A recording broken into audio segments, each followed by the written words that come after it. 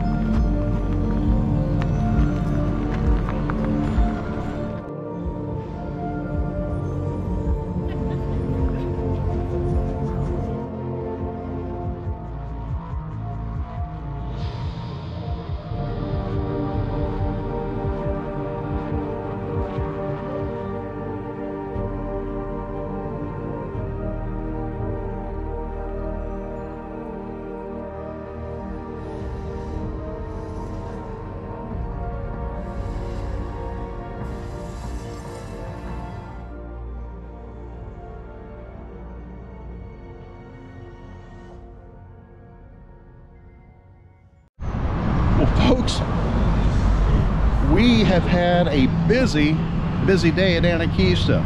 Yes, we have. We were there during the day. We were there during the night. As you can see, it's dark. And we had the most incredible experience. Vicky, tell them about what we oh, did. Oh, We went to Astra Lumina and Anakeesta, and Yeah. we could spend all night there if we could. I mean, it's absolutely breathtaking. It's, you know, maybe a half hour or longer if you choose, um, depending on how quickly you walk through the paths or if you just want to embrace the moment. There's all these different stations that you were you're drawn to and the lights and incredible. It's yeah, it's an experience I'm so glad that we took. Yeah. So if you're in the Gatlinburg area, you got to come check out Anakeesta, whether you're here during the day or the night.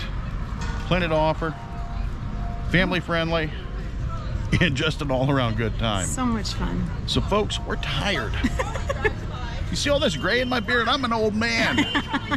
I wear down easily, Yeah.